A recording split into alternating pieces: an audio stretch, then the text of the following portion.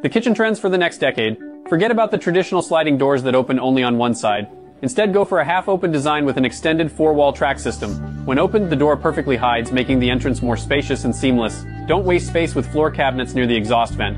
Instead, install a combination of a custom refrigerator cabinet and a tall unit for frequently used kitchen tools.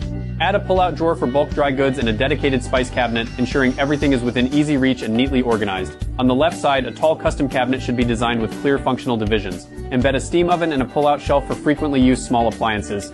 Below include a small step to store less commonly used items, making it easier to access items stored higher up without taking up extra space. If you cook often, consider avoiding traditional top-mounted range hoods, which can be inconvenient and prone to head bumps. Instead, opt for a modern design effectively captures smoke and odors, keeping them away from your face. Raise the sink area to make washing dishes and vegetables easier on your back.